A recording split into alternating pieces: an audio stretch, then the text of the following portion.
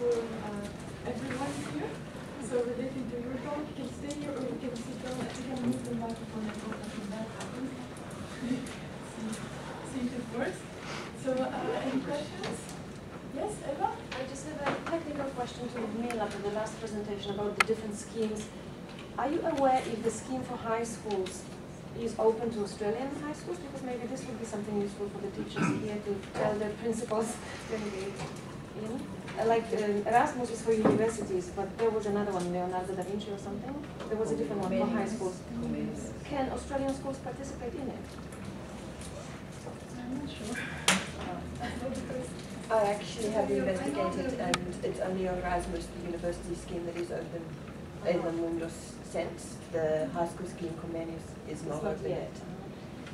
But they are on their way, so they are On the slowly, way. slowly opening up to the differences. Well, these programs are developing and slowly opening up to the rest of the world. And they open to neighboring countries first and then they're US and Canada and Australia. So we're having you know, lots of efforts to include the global community in all this exchange programs. Maybe Australia should love me, right? Well, there, there are quite good exchange programs from Australia. Rotary run a very good exchange program um, overseas. We have, at the school I'm at, at least two or three European students a year on a Rotary exchange, and we send one or two students a year on a Rotary exchange. does work? Who sponsors it? Rotary sponsor. So Rotary International are sponsors. Um, and it's a pseudo-academic year. So usually the students are in their last year of school or the second last year of school, and typically Australian students finish school and then go and do a year 13 in some of the um, European schools. But it, it's, from my experience, it works very well. Students really enjoy it.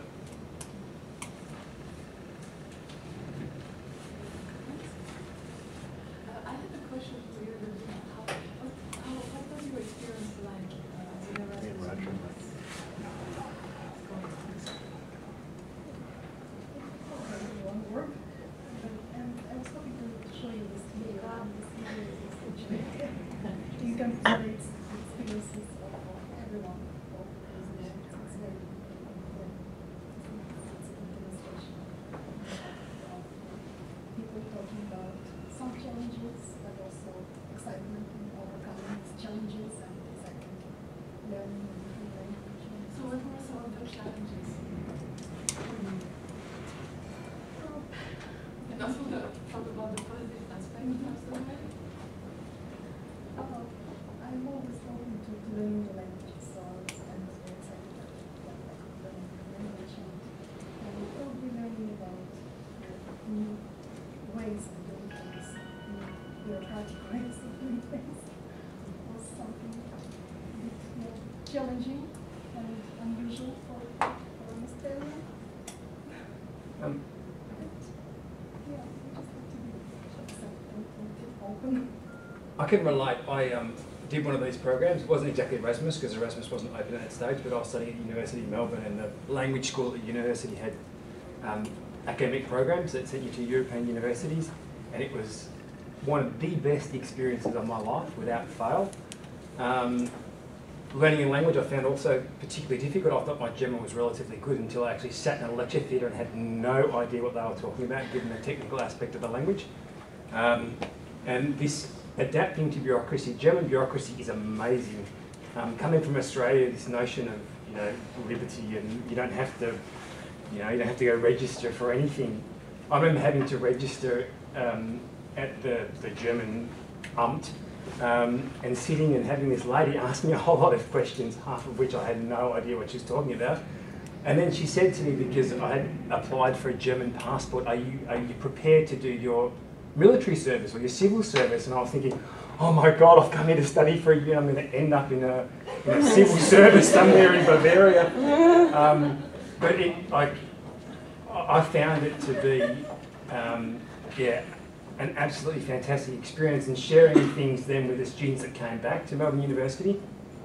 I find what you said about cosmopolitanism, it really rung true. Not that I'm terribly cosmopolitan, but there was a distinct group of us that went and they all shared I guess, characteristics. Um, they all wanted to go, they were all very interested in and engaged in what was happening, not just in Australia but overseas. And um, it was a really diverse ethnic group that went, um, given the fact that we were from a language school um, that weren't all just European languages. Um, and they all kind of shared this, this kind of wanting to understand a, a bit better about somewhere else in the world. Um, and it certainly has stayed with me. I'm a teacher in rural Western Australia, and I still think about those those times in Berlin um, really fondly. Yeah, there's, there's something in it that is valuable in, in participating, just showing up and participating in, in, in, in all activities of everything that you fun. And, and yeah, you're, you are changed. And, Yeah, I agree. and, and really not liable to encounter. And um, I try to, to, to use every opportunity to, to go to seminars, classes, uh, attend extra, extracurricular activities, social events that were organized for Erasmus students. And um, yeah, just interact with people and uh, Yeah, it was. It was also very different. It was. I had a lot of unexpected experiences. I was living in Kreuzberg in Berlin, and the first week I was there, I heard more Turkish than I heard German, um, and so those experiences were they were great as well. You know, that was an unexpected. And I just thought when you talk about multiculturalism or the, the, the way societies have become hybrid, to me that was the perfect example. It was unexpected. I was living in an apartment block where there were more Turkish families than there were German families, and it operated beautifully. No one blinked an eyelid. You know, and then I went off to university and I sat in a different lecture group. It was it was awesome like that. And it, it also relates to, to an article that I have completed for a book, that also book, it's, it's on insider methods, um, researching migration mobility, and where I had actually to reflect on, on, uh, my insider position within the mobility, and uh, how it, how it changes me and how it makes me define certain areas, dismiss from other areas, and what kind of issues I encounter, what kind of questions I pose in my research, and um, yeah, how it really funds my research and, and my life. Um, I think looking, I, I like the use of the word cosmopolitanism. I, I like the, Anyway. Doesn't work. it doesn't work.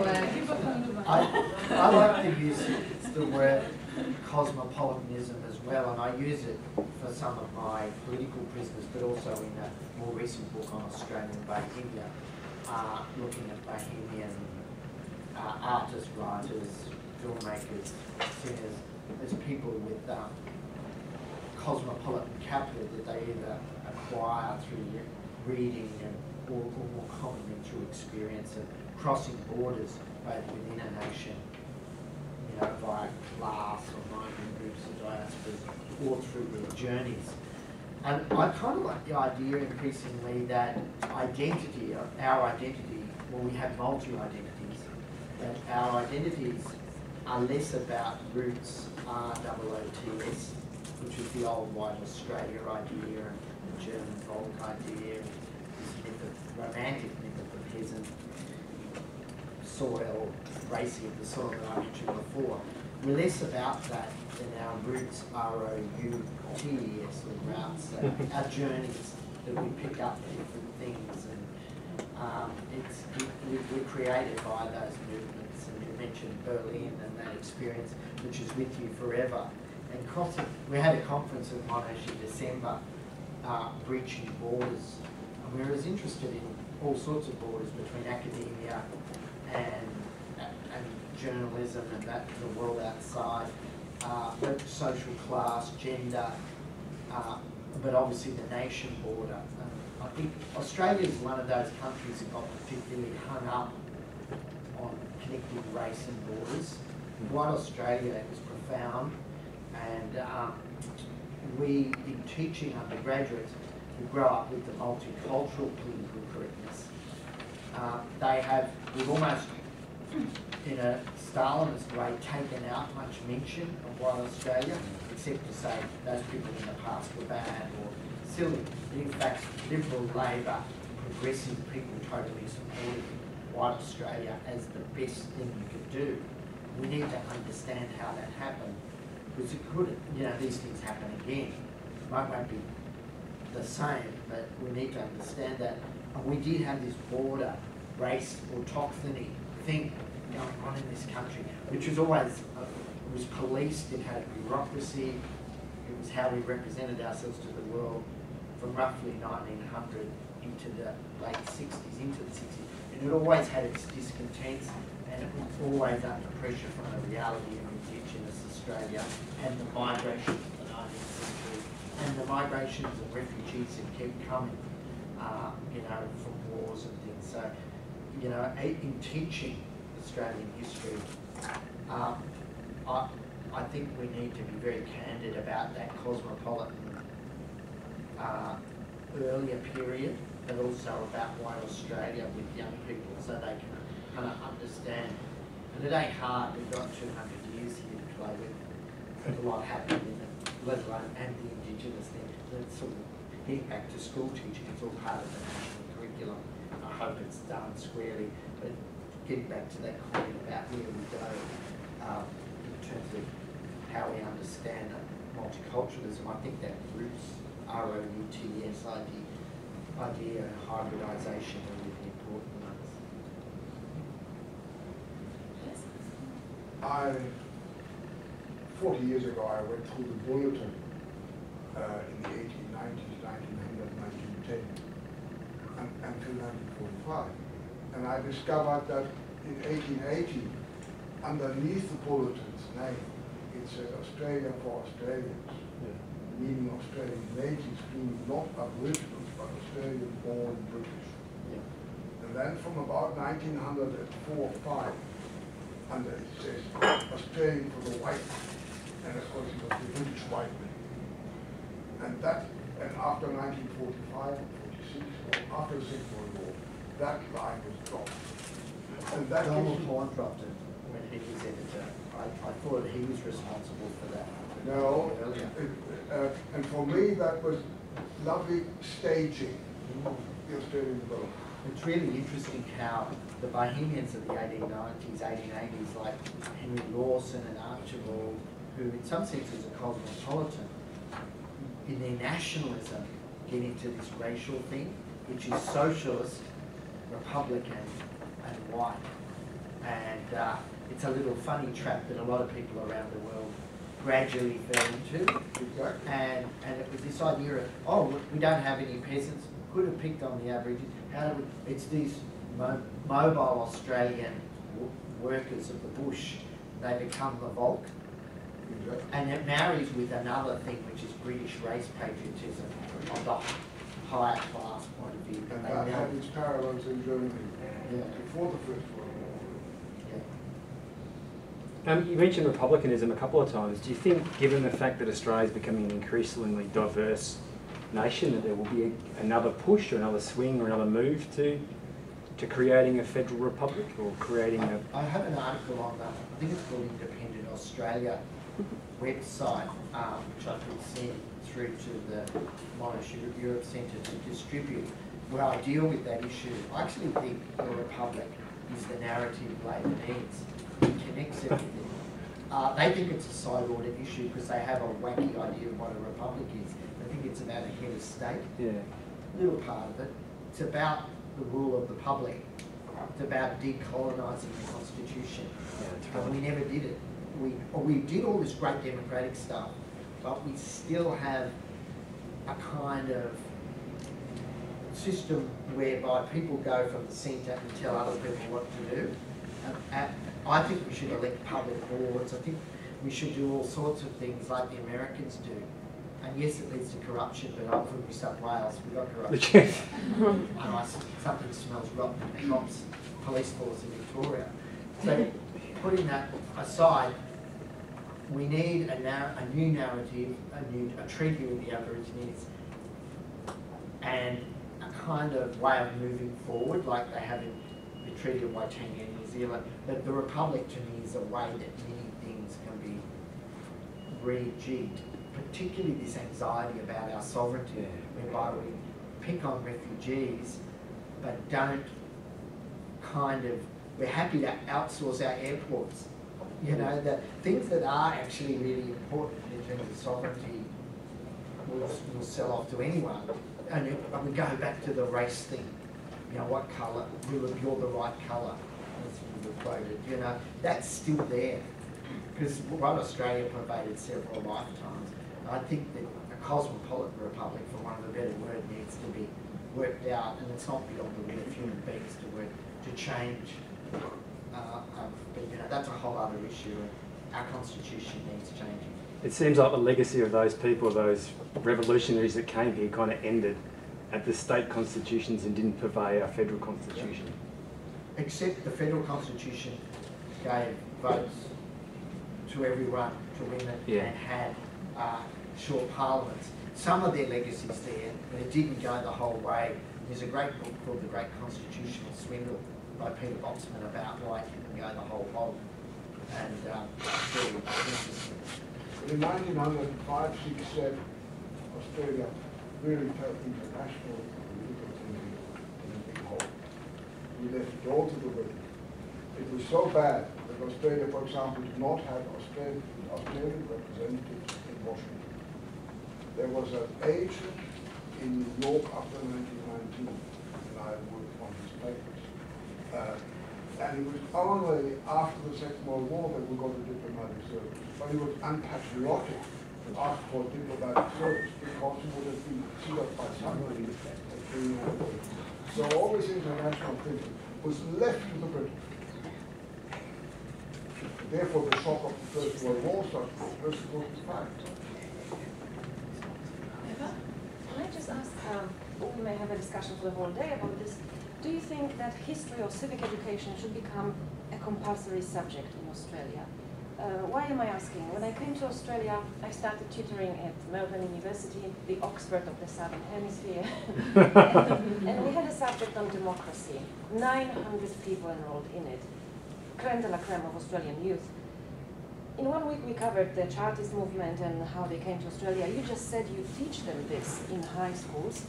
Believe it or not, nobody out of the 900 students knew that some revolutionaries with good ideas came to Australia and that your democracy is one of the earliest, uh, one of the oldest democracies, modern democracies in the world, that your women had rights to vote half a century earlier than in France or communist countries or somewhere.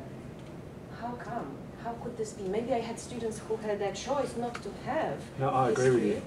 History, But that was The students that take the course that I teach, but like they take it on a voluntary basis, it's not not forced upon them. It's So this compulsory in New South Wales. It is compulsory in New South Wales, but they actually don't necessarily listen at the age of 14 or 15. Well, I hated history again, that's true, I hated history. When I was in high school and I ended up teaching it. And it's also, look at, Yes. how many teachers you've got in the room and how many teachers are actually out there. Yeah. And I think that's probably can tell you a whole bit, okay, maybe a whole bunch of teachers in here do teach that, but what about all the ones out there? I mean, Well, it's a holiday, you don't have to do that. no, no, that, that's exactly right, but what if they're the teachers who don't know this either? Teachers don't know everything. Or this We- we example with Aboriginal studies, why would you give a choice to a fourteen-year-old not to study it? I would, I come from a totalitarian country, I would send that student to the desert and They don't support you. It has to feel yeah.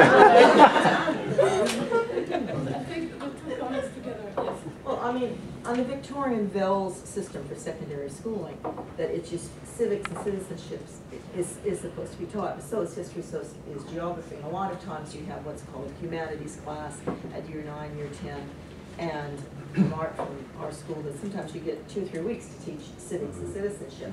And you're, you know, you're feeling you're really good if you can get the kids to tell the difference between an MLA and an MLC, and you go, geez, they know about the state parliament. So all of this other stuff is just icing on top of, of just, just being a vote, a basic citizen and knowing how to vote, what the system, citizen, system is. I'm, I'm kind of hoping the national curriculum, which we're all under at the moment, and we're mm-hmm. moving towards it because this year is the first year that history's been compulsory up to year 10. And as a humanities faculty leader, it's really exciting to have a whole lot of history teachers who are just thrilled to bits about the fact that it's now compulsory. So I think it'll change, and I think it will change because of the national curriculum, provided that people don't cut corners and actually follow what we've been told to do. So I- the I stories disagree with that. Um, Australian history is not going to have its own little box. It's going to be, as Tony suggested, a transnational kind of focus that I'm concerned is going to be morphed by um, a, a, a bigger picture approach to historical inquiry. I, I, I would, I would disagree. The national curriculum is fairly explicit in what you have to teach with regard to Australian history. I would say that there are there are key areas of study that you must focus on, and so therefore I would think that um, I've had a bit of, I had, had a bit to do with the the history curriculum, um, and I would say that there is certainly opportunity for history teachers in Australia to cover topics that in the past have have Well, been one of the implications, the suggestion is that Australian history might be dropped at a senior level, at a year 12 level from the curriculum as a result of this um, approach. Oh, yeah, that's yet to be, that's a long way off yet, that discussion about what the senior curriculum will be. For a long time. Um, from from uh, my side, I, I was really encouraged to see that uh, my girls uh, who have twins, so they're eight years old, and one of them was encouraged, so in primary school, to actually do a research topic on women's rights in Australia. So she knew it at you know eight-year age, you know, so that's really encouraging. isn't it? and I don't know if anyone in the panel would like to react to what being said. Uh, and then it's perhaps David, please, please, No, uh, that's the person. in this discussion anyway, do you have anything more that you'd like to add? Um, Maybe I'm just really encouraged this comments on on how good the interaction with the audience has been. Um, Fantastic, yes. Fantastic, yeah, very creative and very encouraging. Um, I'd probably like to comment too also about on the fact that when the students get to university, I don't know what they're like at secondary schools, and whilst with my um, offspring were at secondary school, but the, the students don't like to read. Yeah, We, point them to the library and explain what a library but, you know. Um, so, you know, I'm still trying to encourage them to do some reading and not set too much, and I think that's a really important to try and pick out some really interesting, um, topic, um, papers that are not, you know, too big for them to read. Um, and they get, get a bit overwhelmed, I think, sometimes um, at, at university. But also, um, listening to you before about the issue about cosmopolitanism, so I'm really encouraged by that from my co-speakers, um, their, co- their comments on that, because I've sort of been pushing towards that. And, um, it's difficult sometimes when you are teaching in in university, you're becoming, you know, oh, well, now I think we should all be quite different, you know, we're moved on, because you're taking a, a very large machine, you know, you're working with this large machine, and, and they might not think it's time to work on, so, um, yeah, so it's been very encouraging Okay, and on the, the last topic, I, I wanted to say uh, that in our center, we, we have a lot of students who actually, you know, went, went to Europe, and it did really change our facility at the master's level, also, also the PhD level. And some of them want to stay, some come back later, they take jobs in all kinds of in the government. Uh, also, uh, there was one who took a, a job with an energy company, so this really uh, changes your life. And the, the, the manager of our, uh, of our center, Kirsty, which is busy doing something else, she uh, spent some time uh, in Germany, right, Kirsty, on, uh, on exchange, right, as a secondary student, that's right? And we still keep in touch with that family after all this time. So each time we have a, you know, a meeting of EU centers in Europe or there is any occasion, she will try and, and meet uh, that host family. Uh, and I think if she chose you know, to come without uh, the Monash European EU Center, it's in part because of that experience too, right? So this is all very, very important. Uh, and I will uh, stop here because it's time for, uh, for, uh, for, a break. And I would like to warmly thank you, the, the three of you, for excellent presentation. And obviously you stimulated very good discussion as well. So thank you for all of you here, and we continue this afternoon.